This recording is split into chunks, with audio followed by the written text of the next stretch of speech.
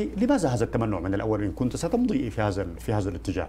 يعني هل لإجداء بعض المكاسب لإجداء بعض المتظاهرين في في الشارع؟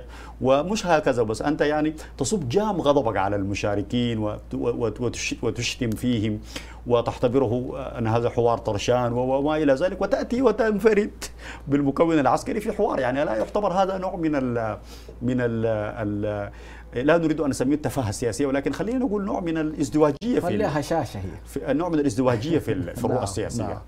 هي على كل هشاشة سياسية في المؤس في الحالة الحزبية السودانية بشكل عام وهذه الهشاشة تعود لمجموعة عوامل ضعف البنية السياسية ضعف البنية التنظيمية لهذه الأحزاب غياب الكاريزما القيادية لكثير من الأحزاب كانت لها يوم من الأيام قيادات تاريخية لها صولة وجولة في تاريخ السودان.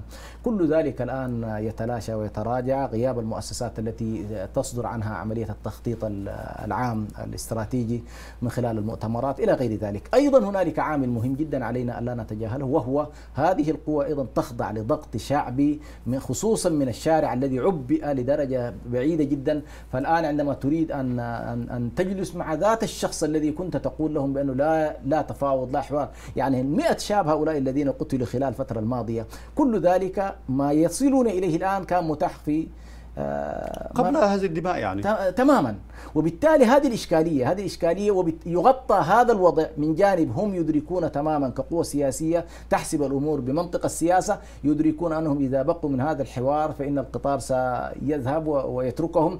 وإذا أيضا استجابوا بشكل سريع سيفقدوا شيء من ما وجههم عند الشارع لكن في كل الأحوال هي كما تفضلت فيها غياب للمصداقية فيها عدم شفافية فيها نوع من للأسف الشديد استرخاص الدماء لتحقيق أهداف قد لا تكون أهداف ذات طابع وطني وقومي. بقدر ما هي أهداف أحيانا أقرب إلى الشخصانية منها من الحالة العامة. نعم.